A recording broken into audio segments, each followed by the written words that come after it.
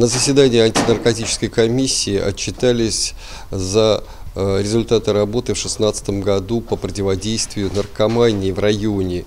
Э, порядка 17 фактов сбыта наркотиков найдено было в 2016 году и порядка 6 килограммов наркотиков было задержано правоохранительными органами.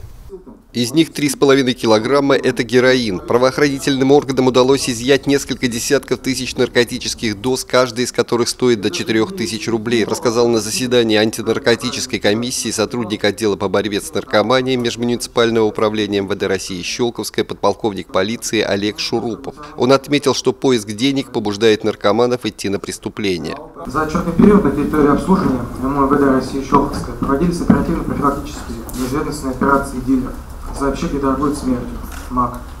В ходе них было выявлено и раскрыто 17 фактов сбыта наркотических средств. Также на территории обслуживания проводилась оперативно-профилактическая операция «Наркопритон», в ходе которого выявлен факт организации наркопритона группы лиц. Целом, по среднеобластному показателю район остается на уровне предыдущего года, однако по нескольким позициям ситуация остается непростой. В прошлом году не удалось увеличить количество тестовых профилактических обследований школьников. На комиссии было высказано обращение к родителям не препятствовать обследованиям, которые могут спасти жизни их детей и не допускать распространения наркотических веществ среди несовершеннолетних. У нас э, тестирование идет в образовательных учреждениях.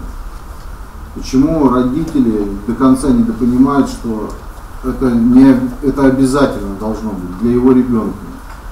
У нас вроде в 16 даже меньше было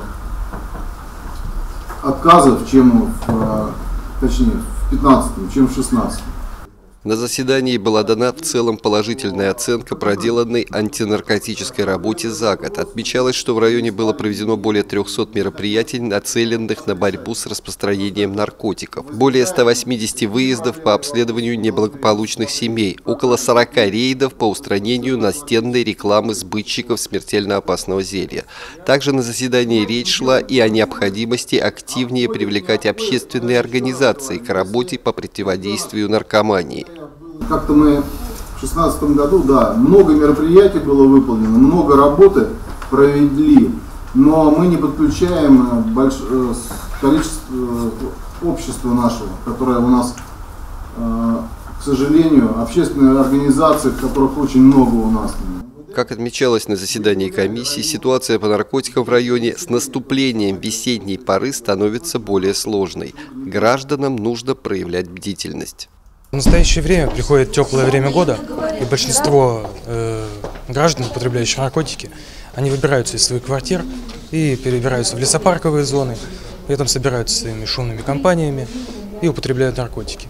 Поэтому необходимо гражданам быть более бдительными и обращать внимание, и сразу сообщать нам в дежурную часть. Андрей Цеханович, Сергей Максимов, телерадиокомпания «Щелково».